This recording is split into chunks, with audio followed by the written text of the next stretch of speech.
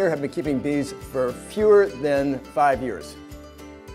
Okay, so this will be especially for you. Um, when I started beekeeping, there was no internet. You got a little short book, a beginner's book, and the information is very clear. There was no varroa mites at that time, and beekeeping was pretty much like following the recipe on the back, back of a box of brownies or something like that to cook, okay? Very, very easy. Nowadays, if you go to the internet and you just Google beekeeping, you'll come up with 32,500 pages to read.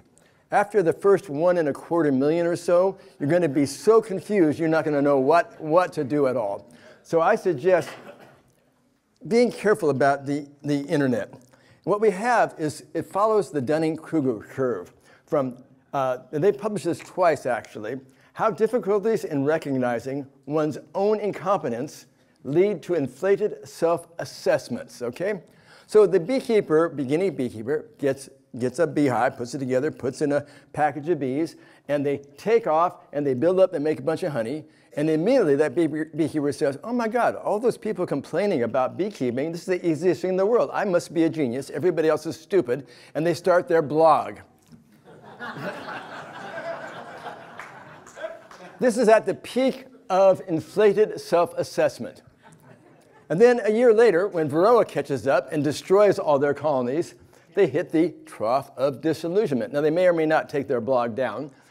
And then, if they decide to continue, they get on the slope of experience and enlightenment.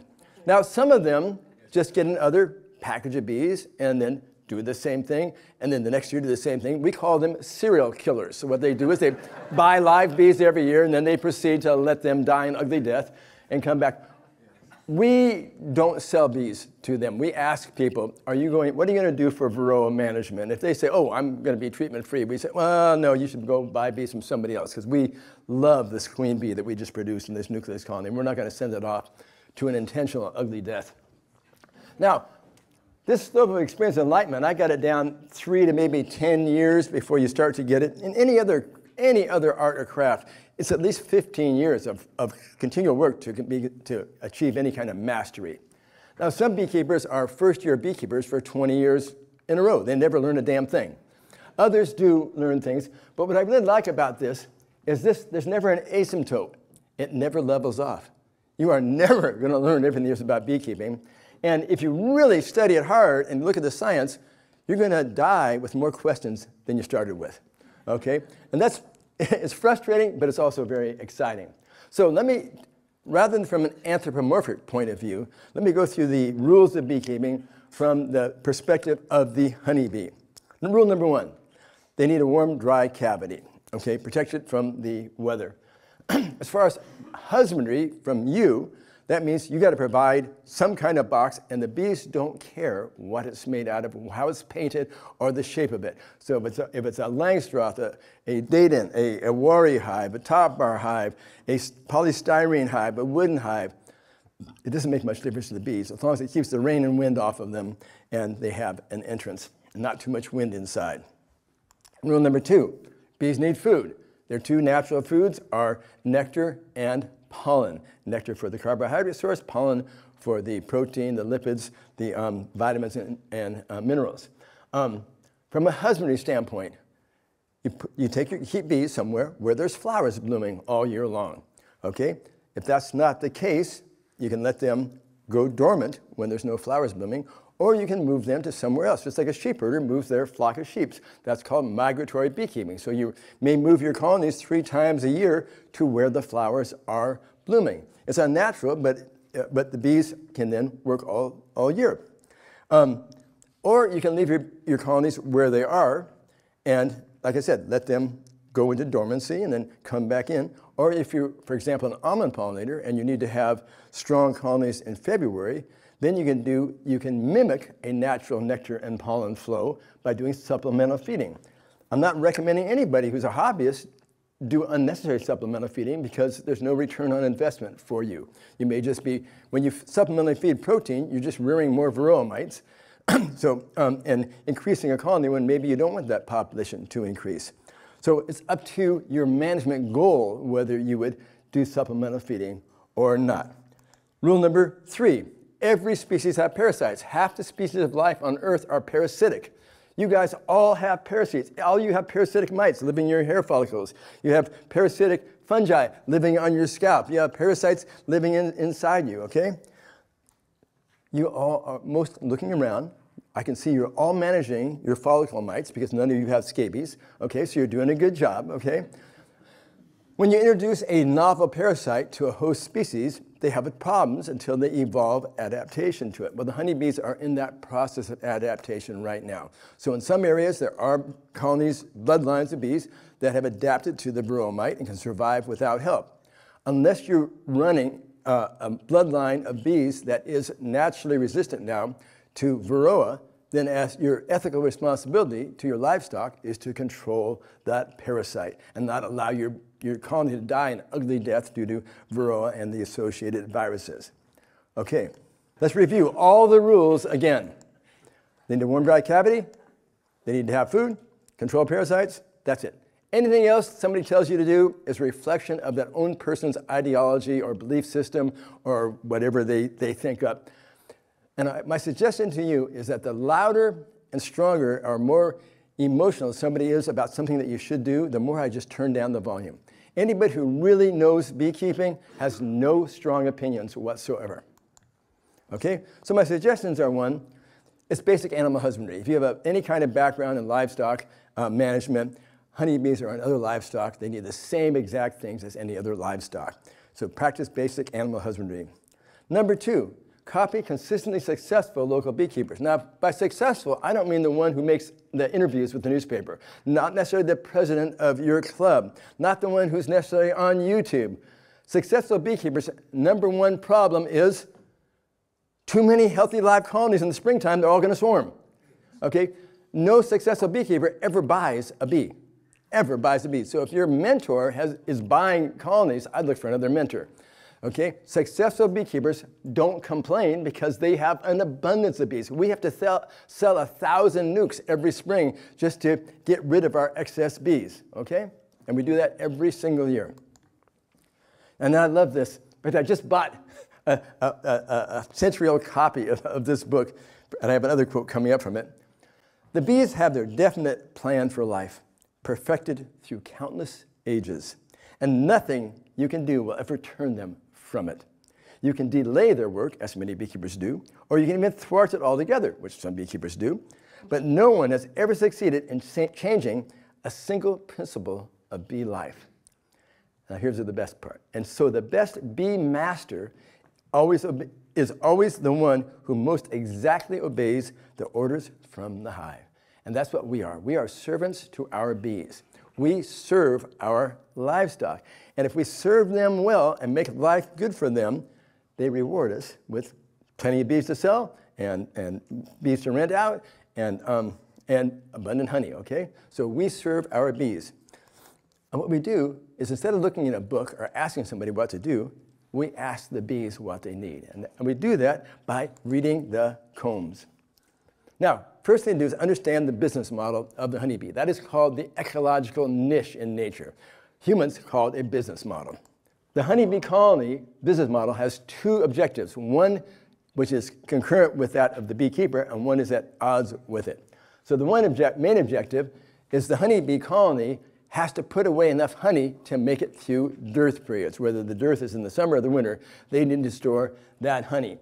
That is concurrent with our objective. We want our bees to store a lot of honey.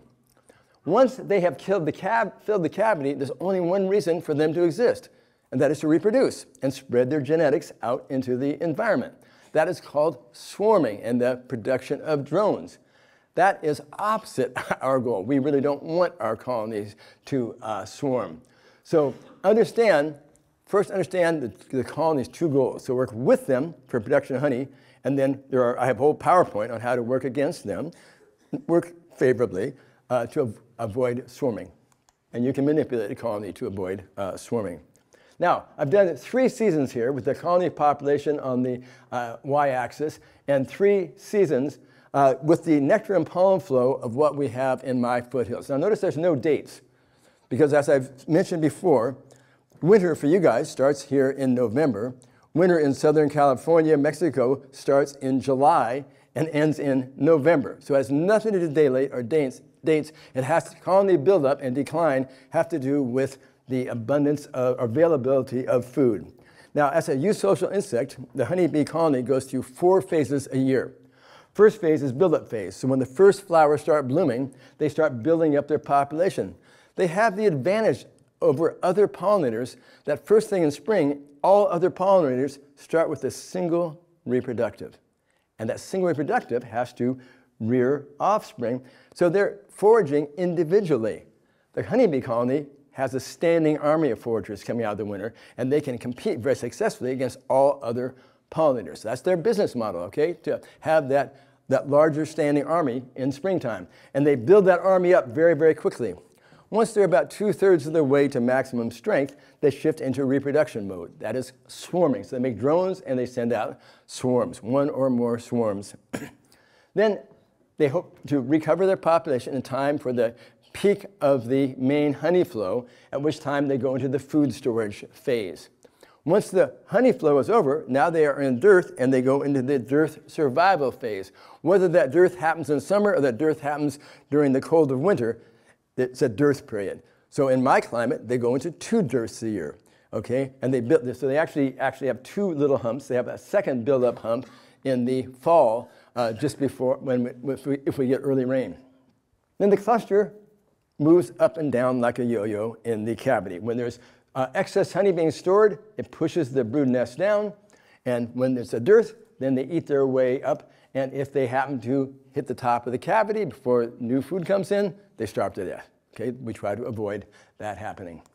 The queen, everybody goes, wow, the queen bee, so special. I hate to disillusion you, but the queen is the only normal reproductive female in the colony. A normal hymenopteran female that lays eggs, okay? The special bees in the colony are all the non-reproductive females, all the sisters of their mother who raise their other sisters for their mother. They do all the work in the colony. The queen is the pheromonal heart and soul of the colony, but she doesn't give any orders or tell anybody what to do. The bees that run the show are the nurse bees. The bees from oh, about four or five days to 12 or 15 days old, depending on the season, because they completely control the food supply and they decide whether the eggs that the queen lays get cannibalized and have their protein recycled, or whether they get fed and then raised into either a, a worker bee or a, or a queen bee. And they decide how they do that by the, by the feeding. So by controlling the feed supply, the nurse bees control what happens in the colony. They not only feed the, the larvae, they also feed the queen, they feed the drones, and they feed the incoming foragers who no longer can digest pollen themselves. So they, they, they hold the key with the currency of nutrition in the, in the colony being the jelly that they produce.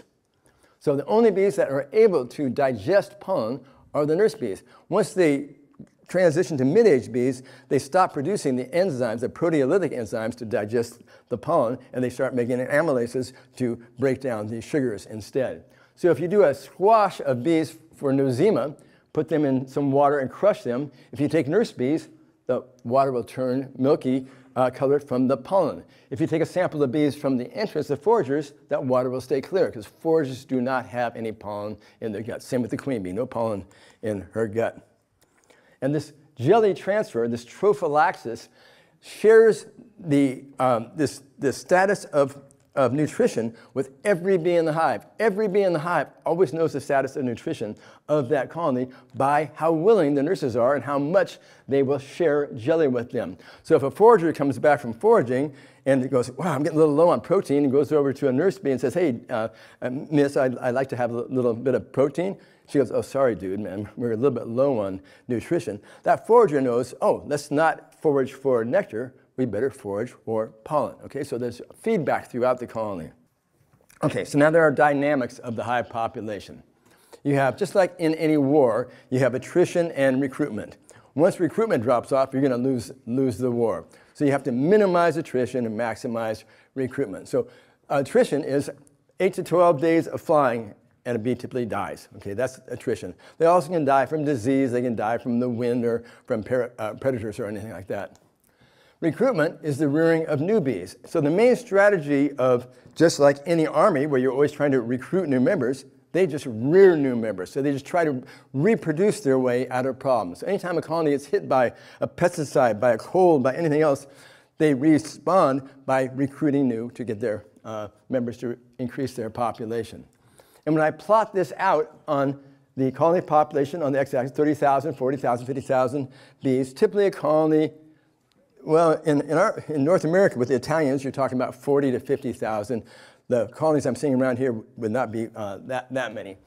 But during the build-up phase, I've calculated the net daily gain or loss of bees in a colony. So during this linear buildup, you're averaging about five to 600 additional bees per day. Okay? So that's your net growth. Now, if the queen's laying 1,500 eggs a day and you're getting a net gain of 500, how many bees are dying of natural mortality every day?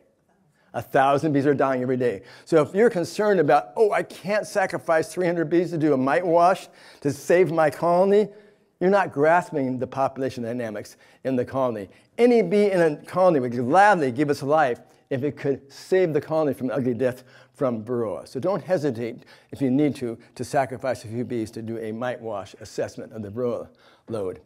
Now, when recruitment comes into equilibrium with attrition, the colony stops growing.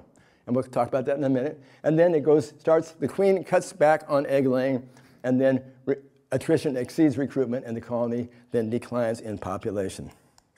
This is a graph uh, I, I, from a study from uh, Lloyd Harris uh, in Manitoba, Canada, back in 1975 and 76.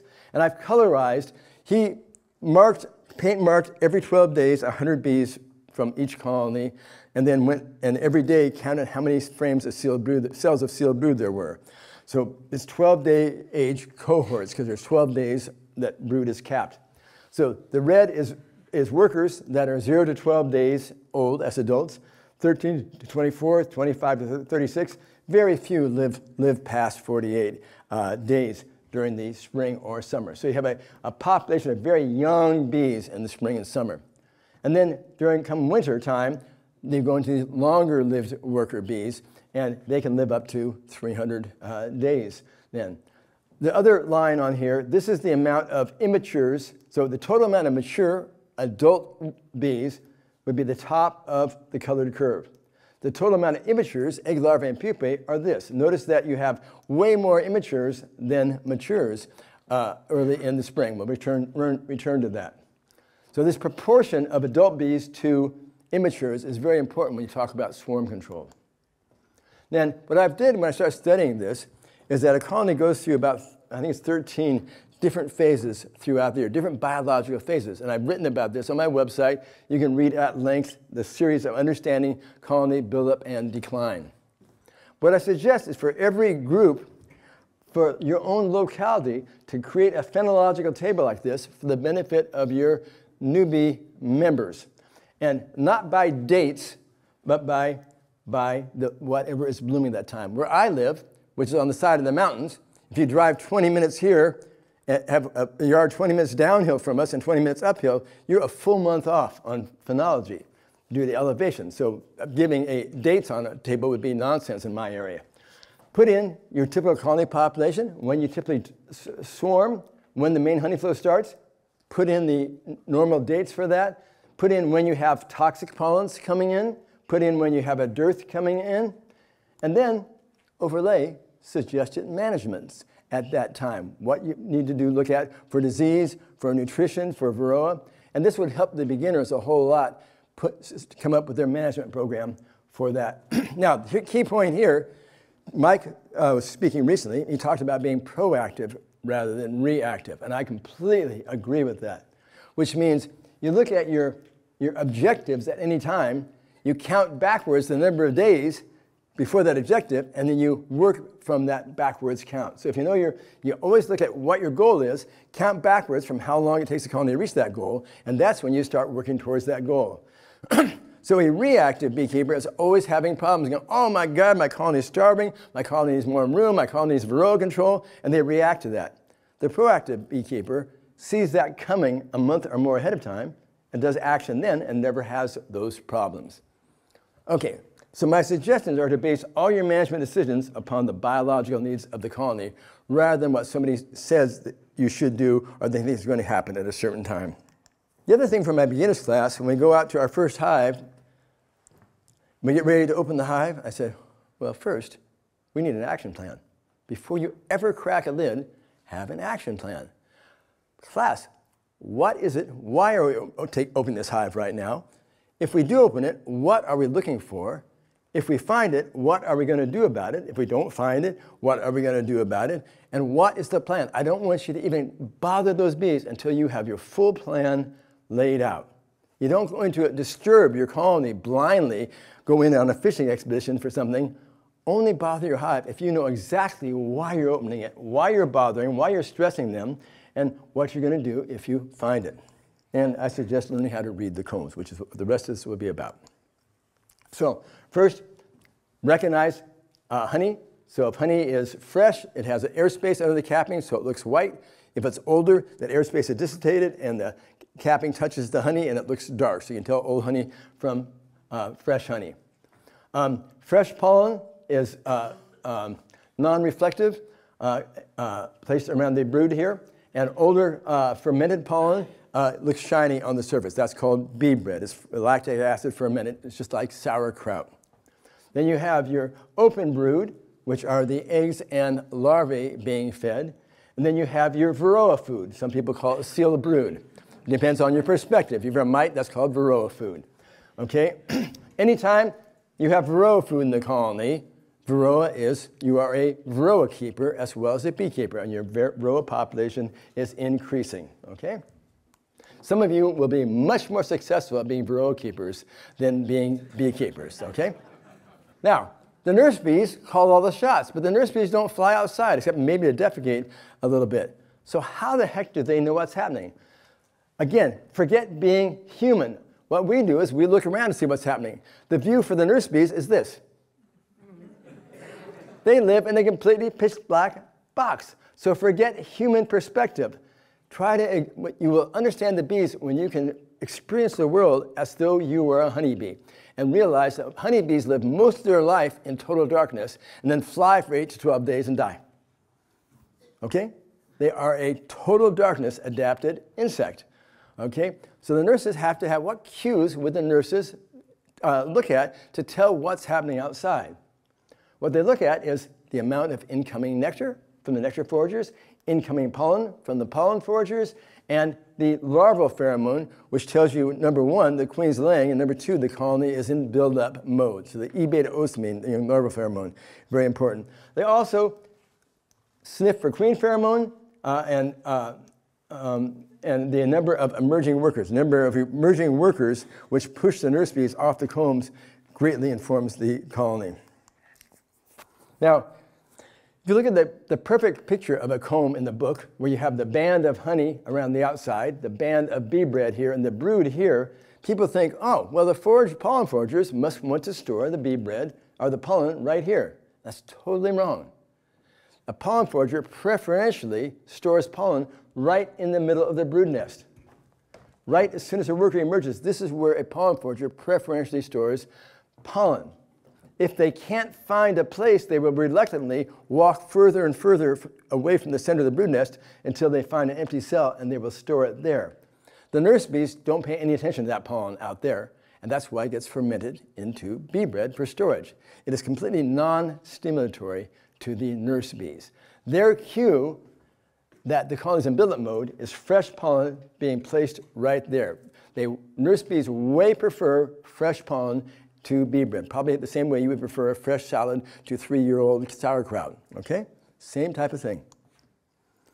Again, stored right next to the larvae. That is stimulatory.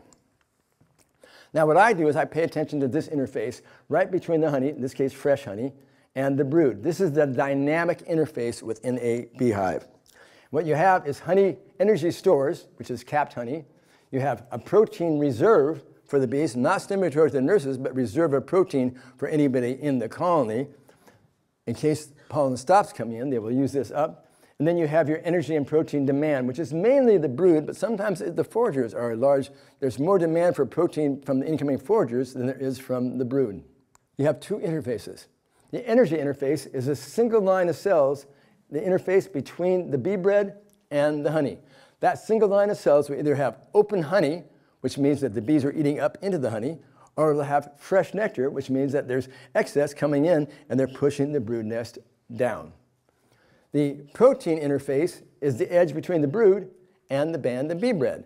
So if there's no band of bee bread here, that means the colony is living hand to mouth.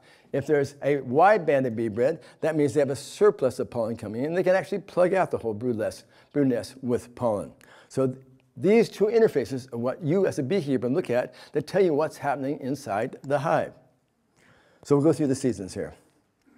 First cue in the springtime is the first tree pollens coming in. You can see in Manitoba, it happened right here, and immediately the, the, these old, old workers immediately start rearing brood right there. This is my, one of my colonies, California, in January when the alder trees start blooming, so it's fresh alder pollen coming in, and they initiate their first round of brood right there. That's the start of the season. That fresh pollen stimulates the nurses to produce jelly and feed the queen protein so she can lay eggs, so ramp up the queen's egg laying, and then enough protein also that they will actually feed those larvae rather than cannibalizing them.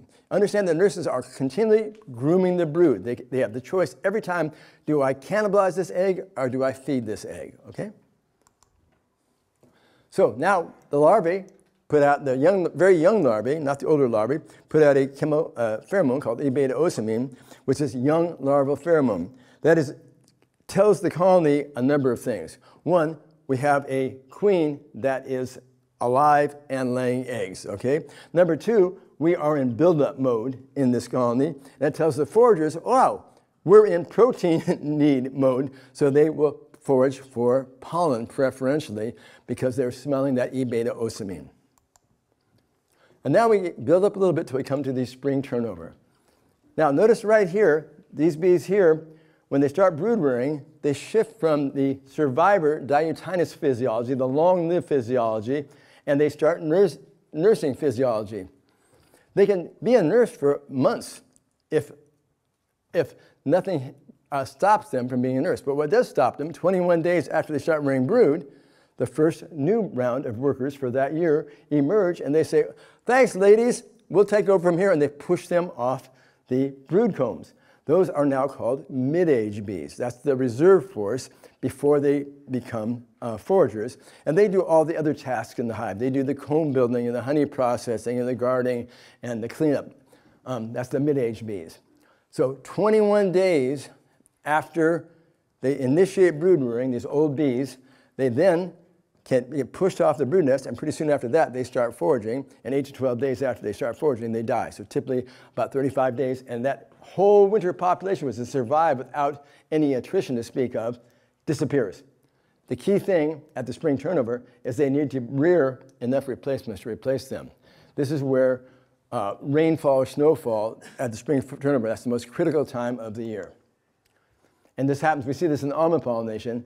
You bring in strong colonies, but that strong colony is still the winter bees and they don't have a bunch of sealed brood in there, and then suddenly all those bees go, wow, we better start foraging, they wear themselves out, before that brood emerges, those colonies will crash in population despite abundant food being around.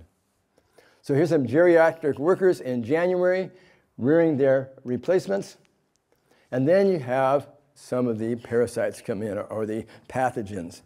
Um, uh, to me, a parasite, viruses are parasites, uh, bacteria are parasites, fungi are parasites. They're all parasites. Okay? Then you have the ex external parasites like, like the mites. But the pathogens are seasonal. They're always in the hive. Every single hive, just like in here, if you take a breath in right now, you've, you've inhaled enough virus particles in one breath to kill you easily if they replicate in your body. Every disease imaginable is in this room probably right now, but you're not getting sick because we have our immune systems ramped up for it.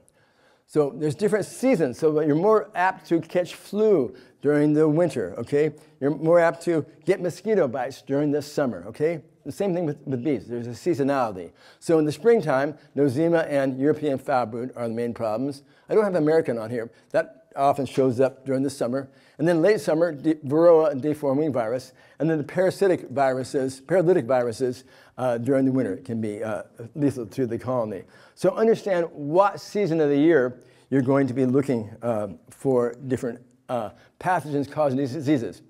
Having a pathogen in your body, you guys are awash in pathogens in your bodies. But that doesn't mean you're diseased. A disease is when your immune system does not keep the pathogens under control. Okay?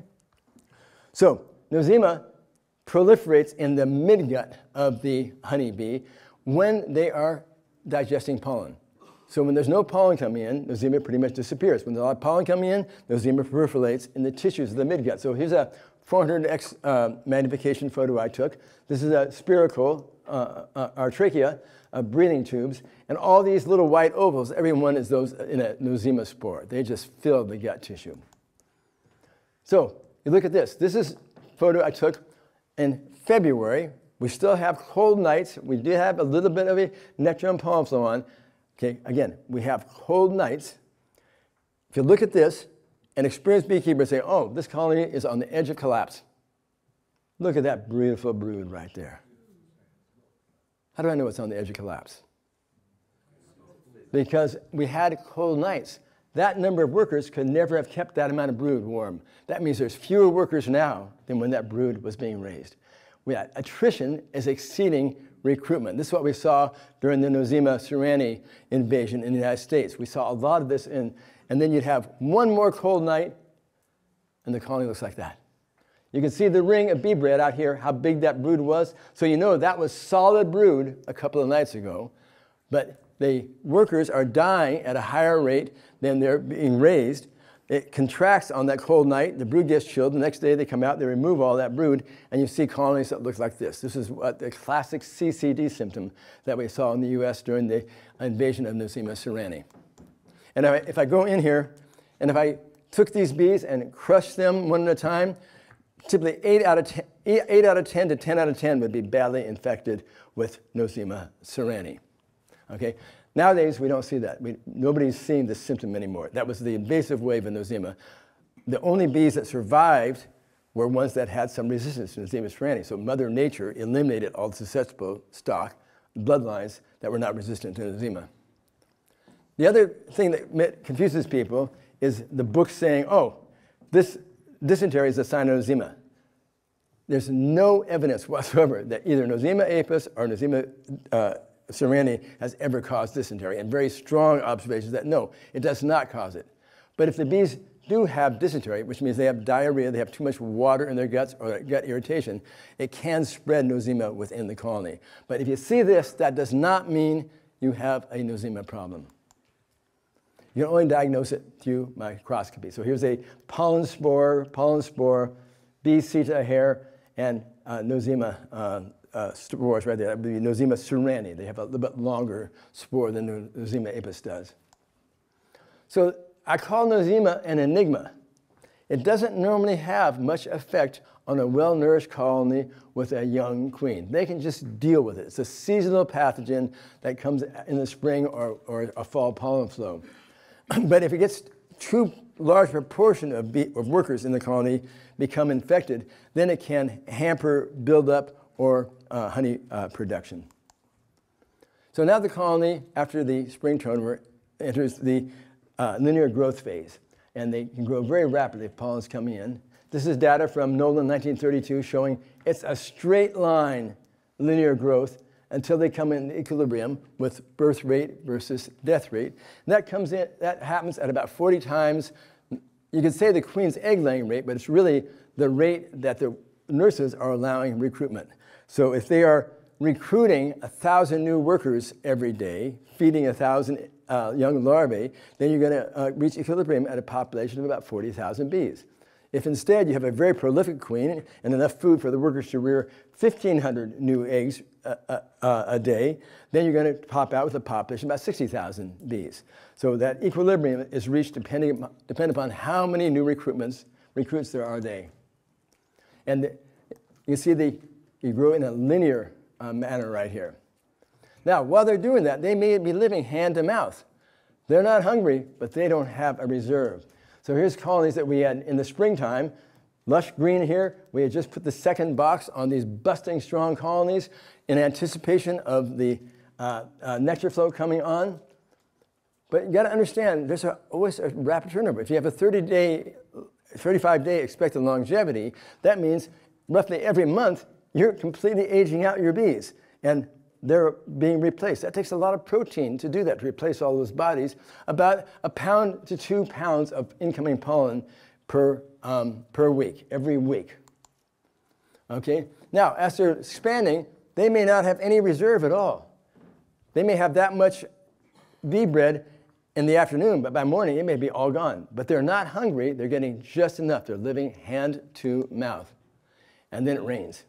Dr. Karl Crailsheim showed that by putting lawn sprinklers on top of colonies and then observing the nurses, within 45 minutes of turning on the lawn sprinklers, the nurses start cutting back on the amount of jelly that they feed to the larvae. The nurses react instantly to the lack of incoming pollen.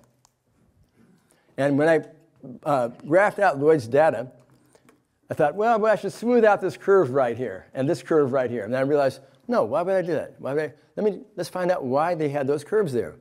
So I went back to the weather history, 1976 weather history, Manitoba, Canada, and oh, a cold rainstorm moved in that day. And the bees cannibalized brood, shut down brood rearing, less brood. Okay? That's normal. Here I am in with a, a mid-spring surprise snowfall, which we get up in our area. And at this snowfall, we had um, pretty much every other beekeeper in my county, all their colonies starved because they were right at the spring turnover. That's the worst time to have a, a snow event because their colonies are typically living hand to mouth. So we got out, as we do, we work in the snow and the rain all the time because that's bee husbandry, okay? If you're a beekeeper, your ethical responsibility is to feed your livestock if they are starving. So we don't sit inside watching TV saying it's cold and miserable outside. We put on our gear and get out there and we take care of our beehives. And our hives did okay. After four days, an unfed colony looks like this. They'd eaten all their honey, eaten all their bee bread, and cannibalized most of their brood. So these colonies, the ones that survived, did not make any honey that year. The ones we intervened a little bit earlier to keep them from cannibalizing the brood, they made a, a honey crop. The other thing we're noticing with climate change is that yards where we have successfully put out nucs every year for the last 40 years and expect a nectar and pollen flow, it's not happening some years. So now we're, and we go out and we have dead starvation. On warm days, no rain, but the nucs are building up quickly and they can't bring enough pollen and nectar in for their buildup and they starve right there. Now, the colony didn't die, it's still alive inside, but a portion of the workers die off. And that saves the colony. If you eliminate those mouths to feed, okay, then the, the remaining ones can survive. So we're having to now put an extra comb of honey into our nucs that we never had to do uh, before. Starvation is generally avoidable, okay? So, um, yeah. So, in answer to your question, we get out and we give them protein right away. So here's a picture of me treating my livestock better than I treat my own children.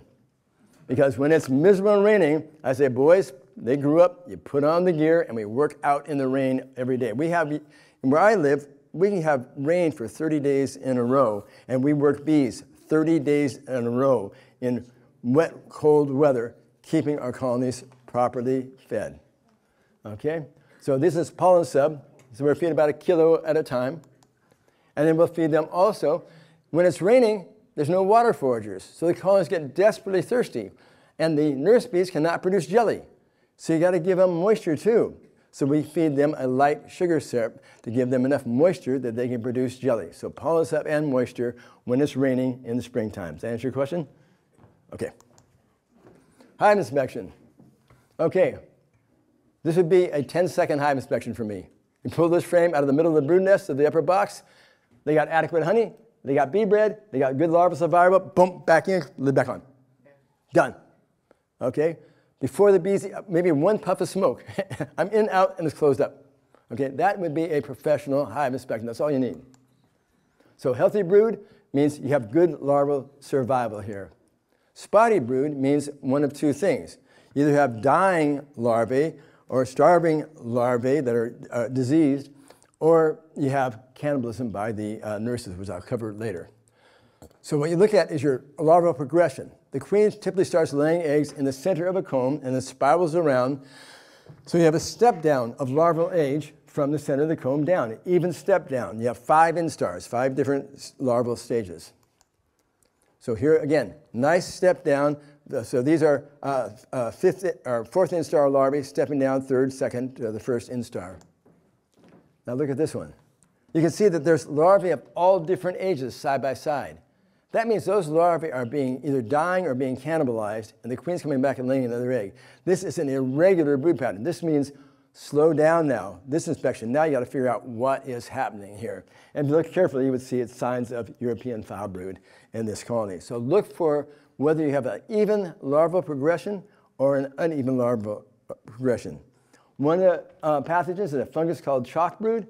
Uh, when the larvae gets slightly chilled, there's more oxygen in the hemolymph of those larvae, and that allows this fungus to grow.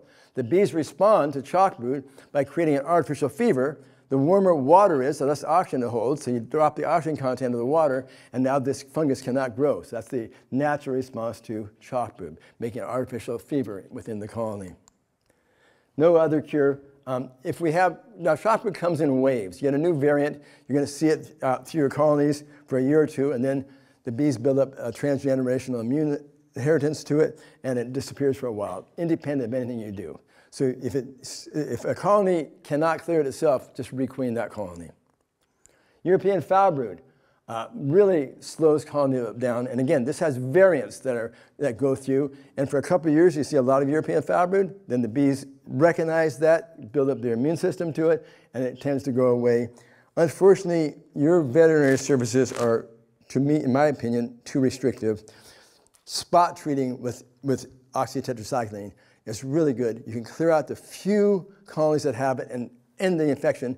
We, I, we don't ever prophylactically treat, but we do spot treat, and just like you would with your children or your other livestock, I don't know why they don't let you do that with your, your honeybee colonies. Okay, if we, you and I went to a buffet, and you walk out with a a plate that is all one color of food and I walk out with a plate that is a rainbow of colors, who likely has the more, more nutritious plate of food? Okay? Same when you look here. If the pollen is all one color, you may have a plant that is deficient in one or two essential amino acids, and that pollen is junks. For example, dandelion pollen. If you have put bees on a diet of straight dandelion pollen, that colony will dwindle and die. They cannot survive on dandelion pollen. It's missing two essential amino acids. Okay?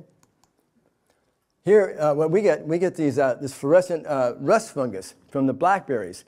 And the fungus tricks the bees by putting out a sugary um, solution with it to bring it back. The bees think it's pollen and they store it in big band of bee bread in, in, in September and October. And look at the brood, it's all dying.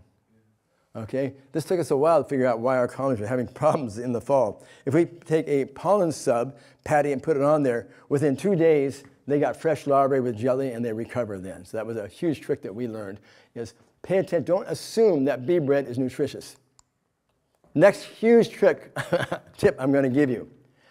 Pay attention to the amount of jelly that the nurse bees feed to the second instar larvae. Not the first instar larvae, where they cover half the bottom of the cell with jelly, but the second instar larvae. See this Here's the first instar larva. Here's the second instar larva. Bottom of the cell is completely covered. If the nurses are short on nutrition, they will restrict the amount of jelly they feed the larva. They'll feed it just to stay alive, but there's no excess. That's what you can look for as a beekeeper. That tells you the nutritional status of that colony by how much jelly they put around the second instar larvae. So these are abundant uh, uh, food. These larvae are being fed just enough to stay alive. But when they turn into adult bees, they will not live up to the potential. They will start foraging at an earlier age and live less time than the bee that was fed abundantly. Okay? So swimming in jelly, this is good. So when we go out to a, uh, an apiary, we have 60 apiaries. First person, when we stop, first person jumps out of the truck, starts to smoke it, runs to a hive, cracks the lid, pulls the frame out, and we're all waiting. They say, oh, it's looking wet, or it's looking dry. It's looking dry, man, we out, we break open the pollen sub, we give them the protein, okay? Looking wet, everything's good, move on to the next apiary. Being fed just enough to keep alive, okay? Learn to look at the jelly. That monitors tells you what the nutritional status of that colony is. Now we finally get to the swarming impulse. So up here, notice that the amount of, of immatures tops out, stabilizes. Okay, the colony starts to um, reaches an equilibrium, um, and at this point now we now have way more adult bees than we have immatures. Okay, that's the cue to the colony. It's time to reproduce. Okay, so this difference in proportion here, and then you start backfilling with nectar, and the queen runs out of room to lay eggs. Four days later, every bee in the hive says, "We don't smell any E beta ocimene. There's no young larva pheromone, but we smell queen pheromone." That means either the queen is failing and we have to start supersedure cells immediately, or we've run out of room, it's time for us to swarm. You never want to let the queen run out of cells to lay eggs in. You can reverse swarming by simply putting in empty comb, as Mike did, for her to lay in, so there's a continual odor of E beta ocimene within the hive. And then this is a response. They rear drones, they rear queen cells. So here's your dilemma as any beekeeper. You want to build up your colonies to reach maximum strength at the beginning of the main honey flow without them swarming. So you can manipulate the brood nest, or you can add combs. I got a whole other PowerPoint just on, on swarm control. Okay, now if you get to this point where you see the, now this is for a double deep, which we run, and on the bottom of the uh, frames upper box, now you would see this if you have a single on the bottom of the cell frames of your lower box. You see queen cells hanging down. It's too late to do manipulation. Now it's time to split the colony to avoid colony reproduction. Now, there are unwanted consequences of swarming. For the first thing, you're going to have a reduced honey crop. The second thing is nuisance to neighbors, like Andy was saying. His neighbors don't want swarms up there on the island. And if that swarm finds a cavity and establishes, now you have a competitor for resources out there. You've created a competitor. And when a swarm leaves, at that time, you have about 80% of the mites, varroa, are in the sealed brood, not on the adult bees. Half the adult bees leave, taking, who can do the math? What's half of 80 of the, what's 100 minus 80 divided by 2? That's 10%. They only take 10% of the mites with them.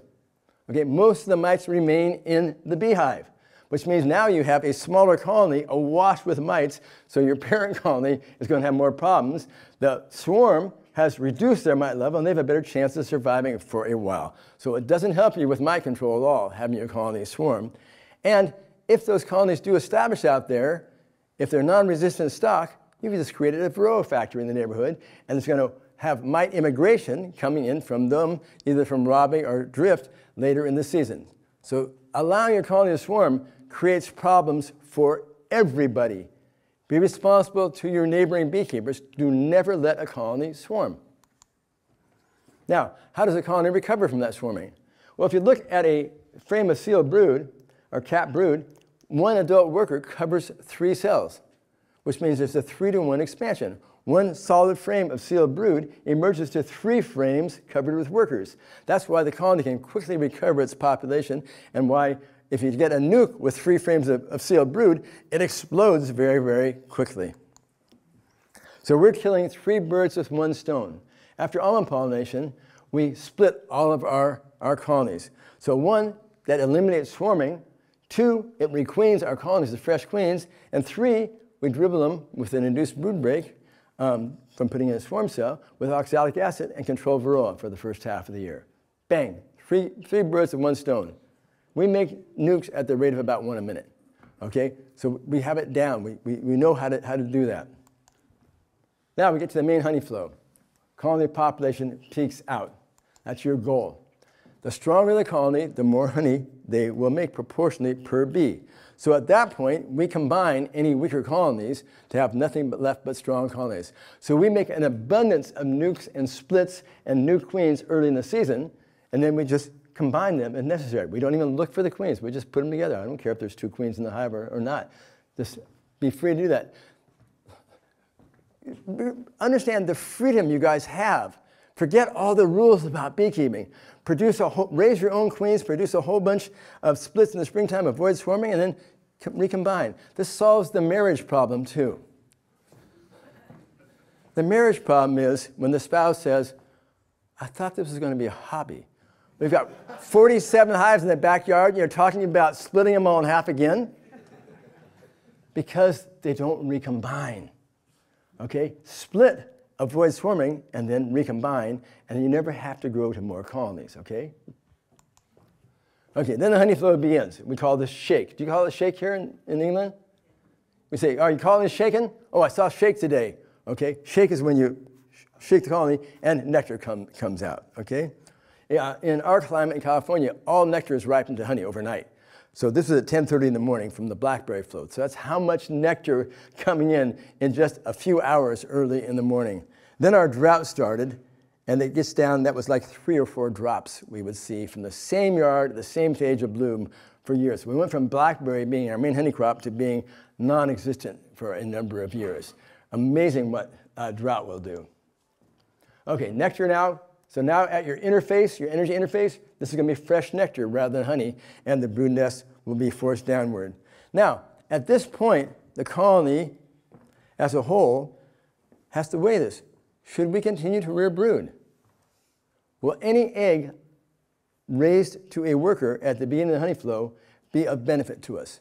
Well, three weeks before they're going to emerge, another two to three weeks before they'll be a forager, which means no, they're going to just be another hungry mouth to feed. They will not help us at all rearing larvae during a relatively short honey flow. With an extended one, yes. When they run out of, of um, empty cells to store nectar in, that tells the, nurse, the mid-age bees time to produce wax. And they, you see what's called white wax. You call it white wax here? Okay, so if you see white wax, that tells you two things. You're out of room, for one, and the colony needs room. They're out of space. You see white wax. So that means either you can do one or two things. They're either going to, you either put on more comb so they don't swarm, or you give them a foundation. There's no magic to drawing foundation. There's no potion you can add to the hive. There's no dance you can do. They will not touch foundation unless they're producing white wax. Once they're producing white wax, they will draw foundation very, very rapidly. Now, there's a feedback loops the returning foragers secrete an enzyme called ethyl oleate. That suppresses the mid-age bees from transitioning to foraging behavior. When the worker force, forager force starts to drop off, there's less ethyl oleate, and the mid-age bees then start transitioning to foraging. So there's these feedback loops to maintain a ratio of about one mid-age bee to every forager. The forager forages, the mid-age bees take the nectar and then process it, build comb. So you need honey handlers and honey foragers. And then brood rearing is deprioritized. Lloyd's data shows, look at the amount of brood. There's no reason for them to rear more hungry mouths to feed, so the, the bees fill all the uh, brood cells full of nectar so the queen cannot lay. Okay, that's a benefit to the colony. Okay, they don't want hungry mouths to feed after the nectar flow. Now, what we do as beekeepers, we now trick the colony. They will swarm if they feel that they fill their cavity. So we enlarge the size of the cavity.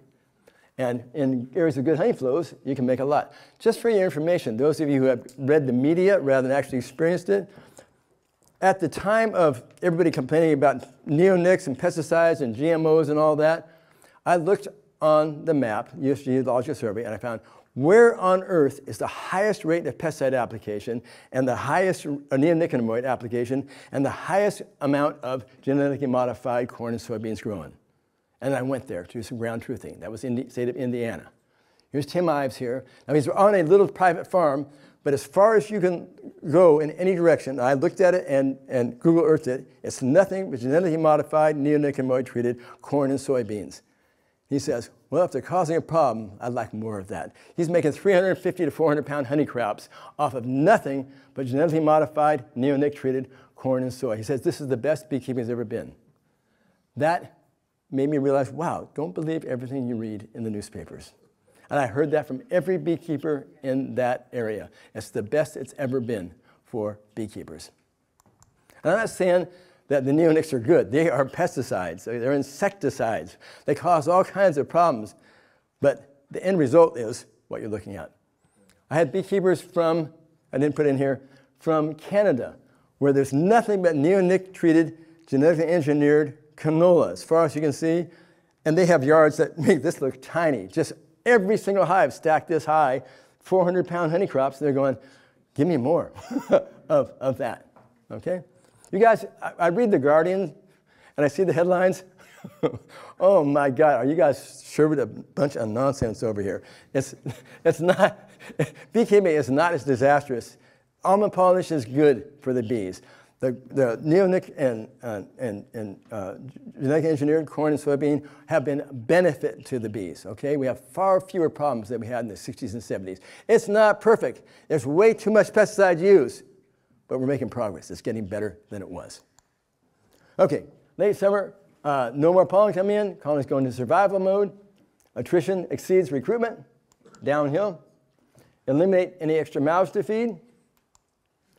Now at this point, you see I have fresh honey right here, a little bit of trickle, trickle of fresh nectar, but no excess of pollen, no bee bread at all. If you look in these cells, you can't see it here, there's an egg in every cell, but you won't see one single in your larva because the nurses are cannibalizing them because there's no incoming pollen.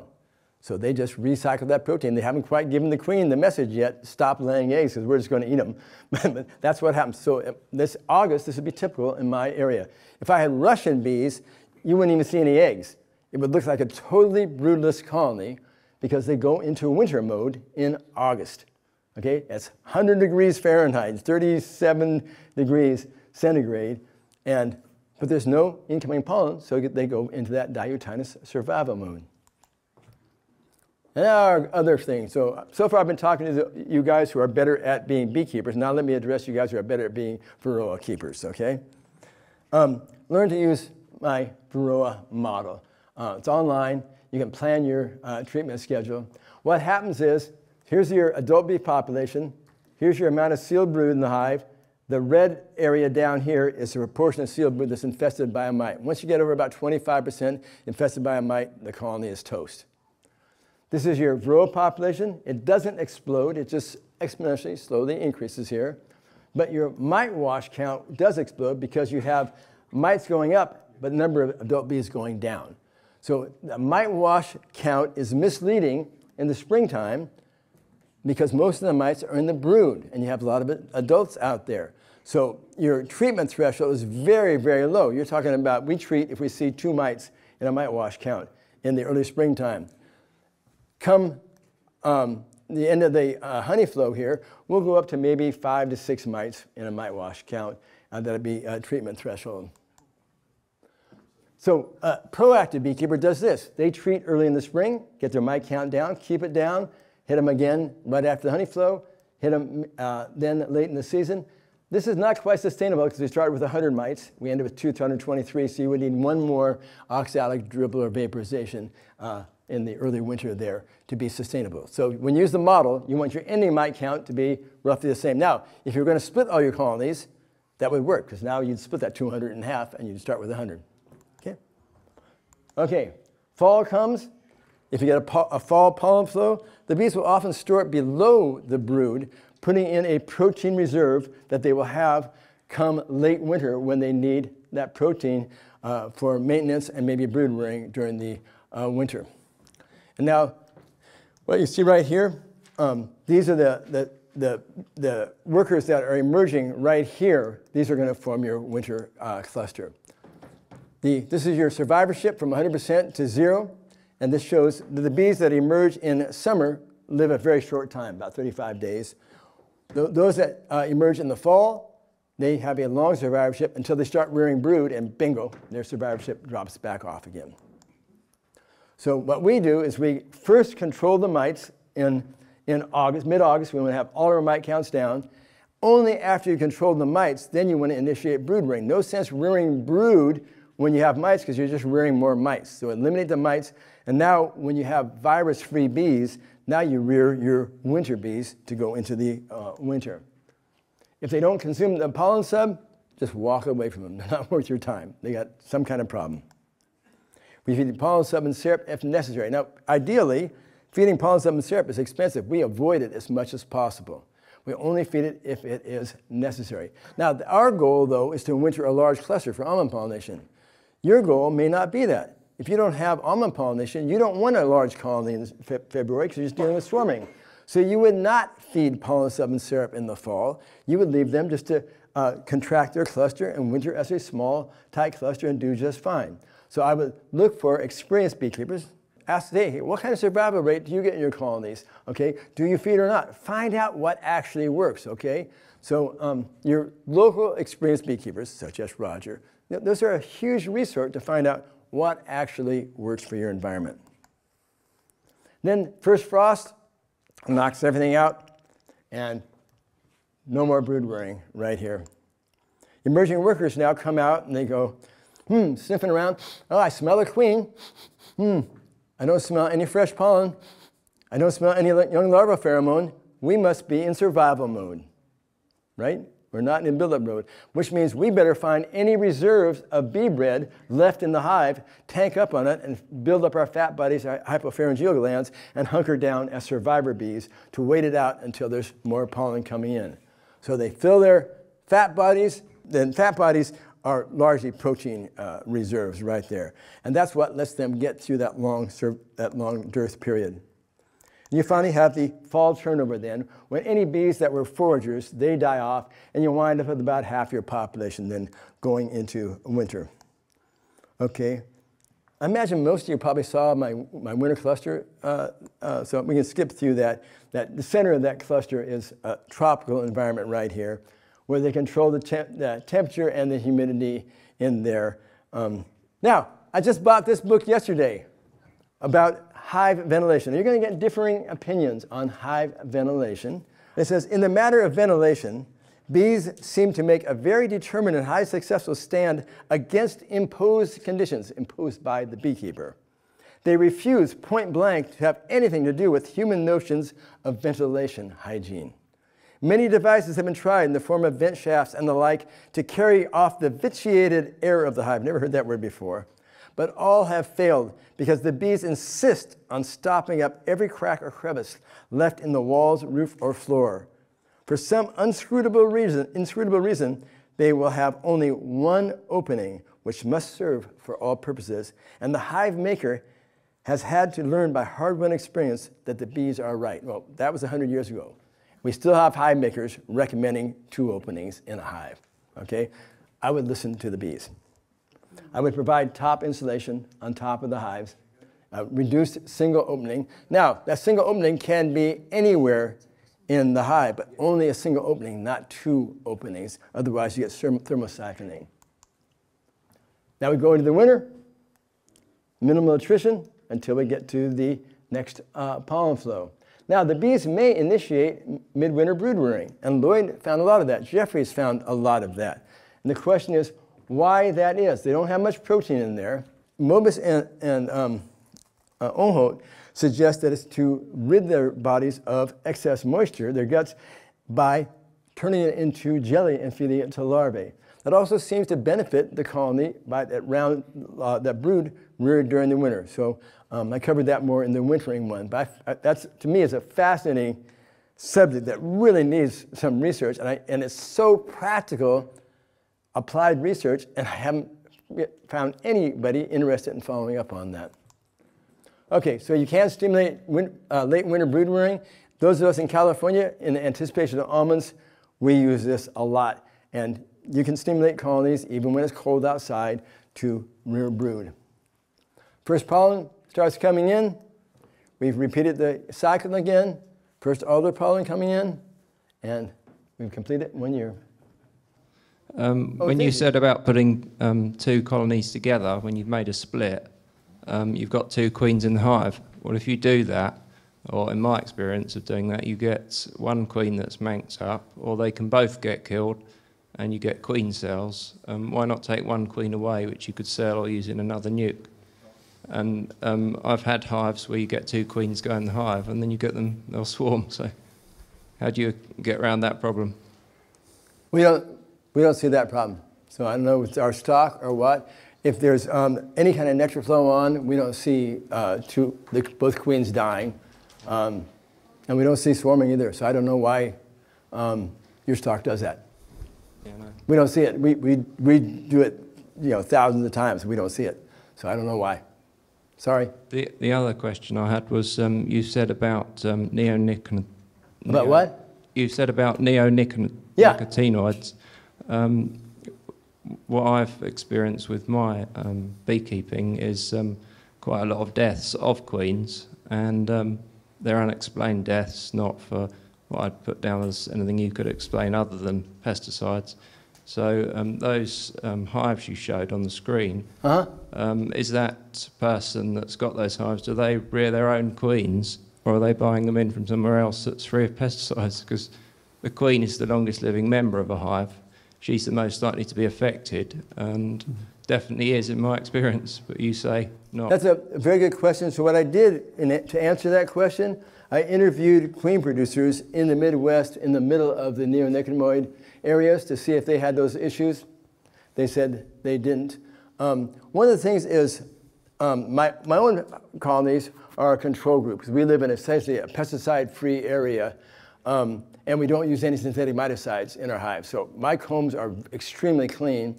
I've also talked, spoken with beekeepers in France who live out in the dairy areas where there's no pesticide spray at all. And all of us see exactly the same issues that the people in the other areas say. We see an elevated rate of queen loss that has happened uh, since Varroa. I just spent some time talking to Dr. Dave Tarpy, who's been investigating queens for 10 years in the United States. And he just did a presentation of a summary of his 10 years of research of why we have elevated, apparently elevated queen problems. And his answer was, they can't figure out anything. They cannot do any correlation with the pesticides. Um, so that's a, a, a, question. And again, I see that in my pesticide-free environment also, but it did start happening after Varroa. We also see uh, smaller retinues around the queen. So we have this question. So what I'm saying is, I don't know that it's queen loss. What I'm saying is failure to successfully supersede. There's always been a turnover of queens. And colonies, back in the day when I was younger, you put bees in a box, walk away for 10 years, you come back, there's still bees, a hive in that box. That's not the case in many cases now. And it wasn't that we had one queen in that box for 10 years. You know they're going to swarm every year. You know they're probably they're going to be superseding. So they were able to supersede their queen successfully. Now what we see is queens failing without supersedure and colonies going queenless. So I, I, it's not so much the failure of the queens, it's the failure of a colony to supersede. So that's a mystery that we discuss at, at length, looking for correlations. And it's really easy to blame something, but we've been a lot of research looking to see if we can find a correlation between the purported culprit, like the neonics, and we just cannot find that. So if it were that easy, I would love to find the answer because then we could solve it. But we're not finding that. And there's been a lot of research looking hard at that very question.